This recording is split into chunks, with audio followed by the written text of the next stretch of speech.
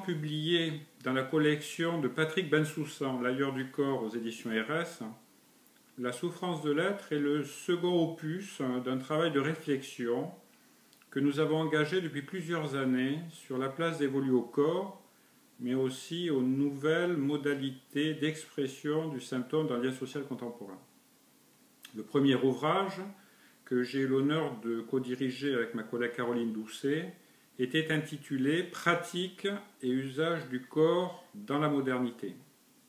Nous avions demandé à cet effet à David Le Breton, Bernard Andrieux et d'autres collègues de faire le point sur la question.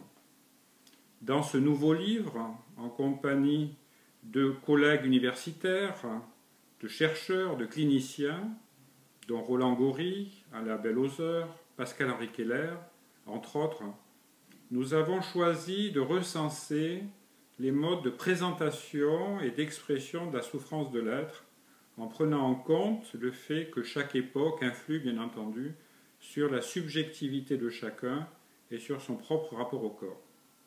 Souffrance de l'être. L'expression peut prêter à équivoque et laisser sous-entendre que nous allons traiter l'affaire dans une veine philosophique.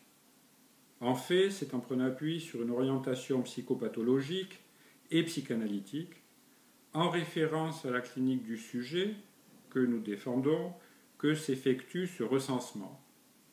Entre autres, pratiques de marque corporelle, phénomènes de corps en explosion, troubles des conduites alimentaires, sollicitation du regard dans le symptôme, problématiques de la fin de vie, problématiques de deuil, impasse médicale conduisant à des situations de mal-être, Bref, autant de modes de présentation du symptôme et de la souffrance, mais aussi de nouvelles formes de définition de l'hystérie contemporaine, etc. Bref, des réponses subjectives à la domination du discours de la science d'une part et du discours du marché d'autre part. En effet, face aux normes idéales promues par le biopouvoir, tel que l'appelait Michel Foucault, les maladies de la douleur, les souffrances psychiques les plus diverses se collectivisent.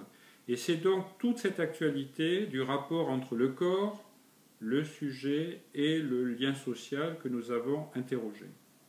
Dans ce temps où la science prend appui sur un véritable oubli de l'être, il nous paraissait urgent de penser les façons de nouer dispositifs de prévention, dispositifs d'accompagnement, dispositifs de soins. Telle est au fil de la lecture l'ambition éthique mais aussi politique de cet ouvrage.